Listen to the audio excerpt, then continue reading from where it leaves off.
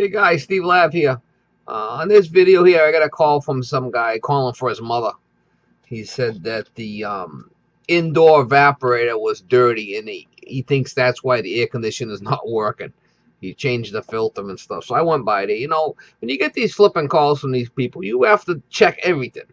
You know, you gotta, you know, start from the, you know, put your gauges on the unit and find out if there's even any flipping gas in the unit uh, before you start ripping and tearing, taking some bloody, some bloody uh, guy's, uh, you know, information that he like, he, like he really knows what he's talking about with air conditioning. You know, you have to be careful with stuff like that. Oh yeah, I know it needs, I know it needs Freon. Oh, yeah, for sure. Yeah, it's probably a it's probably a run cap or you know something else that's a problem. So don't take nobody's word for anything. Um, yeah, yeah, yeah, whatever. I'll check it out. You know, and how many times have I, I got calls from, you know, these, these, oh, so and so, this other mechanic came and said, you know, the system's no good and it needs to be totally, you go there, you know, it, it needs a, uh, you know, a contactor or a burnt wire or something, you know. You don't take anybody's word for stuff. You check everything yourself. But anyway, this video, um, older lady, an older carrier unit, and uh, was completely out of Freon when I went there. Uh, she says, "Oh, you know, hasn't worked. It hasn't worked in a couple of years. I don't know what the problem is." So, uh, you know, I explained to her. I said, "This is an old system here. You know, I could do a leak search and you know take time, and now I got to pull a vacuum on it. If, even if I can find a leak, if I can fix it, it might be a waste of time." So anyway, I ended up putting uh, dry nitrogen on it. And, uh, you know, I went around and I looked in the evaporator. It looked pretty clean. I didn't see no oil. I sprayed all. It was like a you know uh, a slant type of evaporator on the carrier, and I was sprayed the whole side down with um you know, soapy bubbles uh stuff in. I didn't see any, bubbles or anything that looked like a leak. I couldn't hear anything in there. And uh, it seemed like a pretty good leak. So I went outside and I sprayed down all the king valves with, um, you know, leak detector and the king valves, one of the, the, the, suction line king valve started bubbling up like crazy. So I took the cap off, and uh, I was able to turn the king valve in a little bit, and the O-ring stopped leaking. Weird. Um, it was leaking like crazy when it was backed all the way out. And it almost looked like the little seat, the retaining clip was all rusty, got all rusty in there or something. So I turned it in a little bit, and it seemed to hold the pressure. So uh, I pulled a vacuum on the system and I put some gas in it. I charged it up and uh, got it running for us. So, like I told her, I said, hey, it's running today. Who knows? The thing might only last. Who knows how long it's going to last? But it, it, you know, it pulled down, it pulled down in the vacuum. So uh, I recharged it for her. She got lucky on this one. But that's it. You know, they're not. Sometimes they get lucky, sometimes they don't. It's just the way nature of the beast. All right, guys, it's not a it's not a big video, just a little short video. Hopefully, you enjoy it.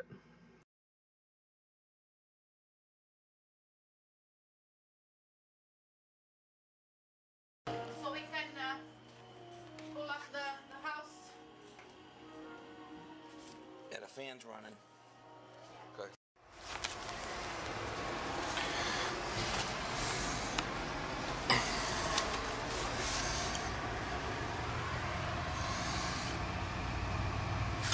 She's completely out of Freon. She wants me to do a leak search, so that's what I'm gonna do.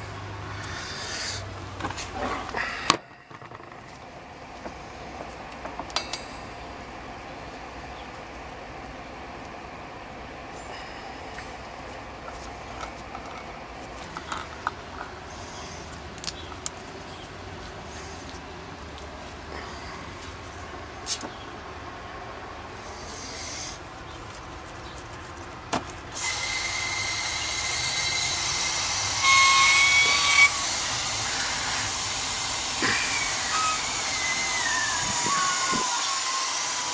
pull the cover off the inside.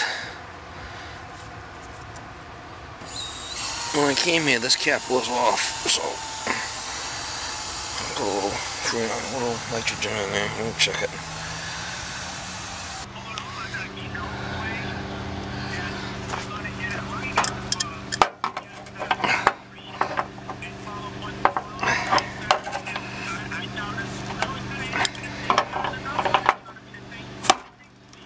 That's ridiculous. You seen how bad that thing was. Crazy.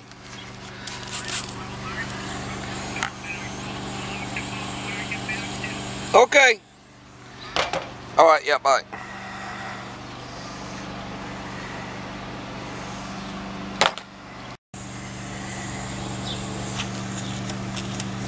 That's a bad one.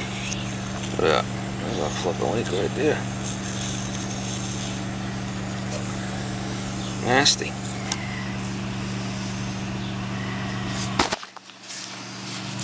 Service valve.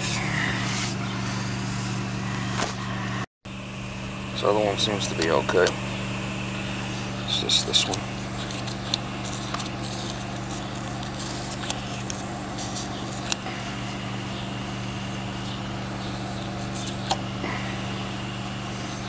Like it's all rusted. I'll try turning it in a little bit, see what happens.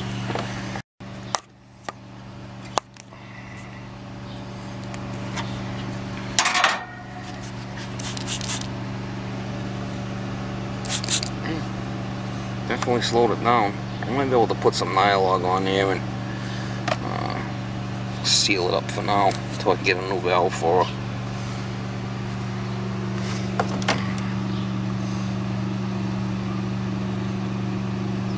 To drop some.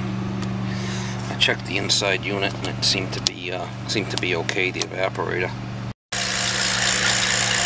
All right, I'm gonna pull a vacuum on it. Raw power I'm in here.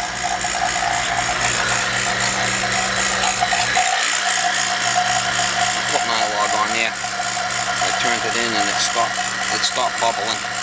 So pull a vacuum on it, get some freon in it for her.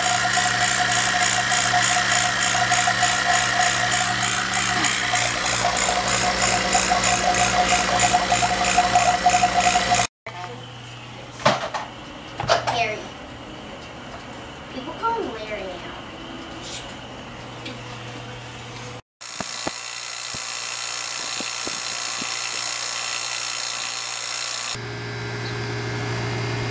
A 66 wet bulb. And we'll say 80 degrees. It's about 18, 78. So we're about 20 degrees superheat is what we're looking for today.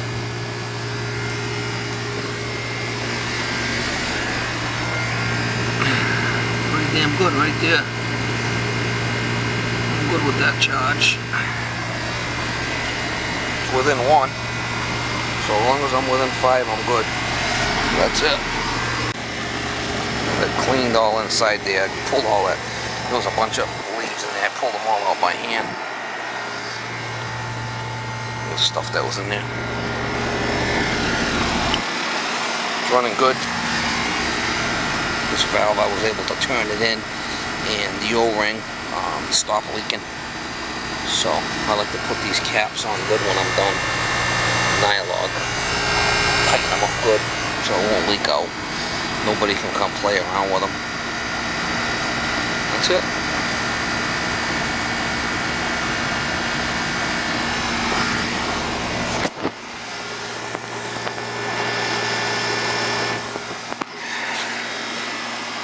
I told her she needs a new system. Uh, it's at its end of its life, but as long as it's running, we'll uh, we'll keep it running for her.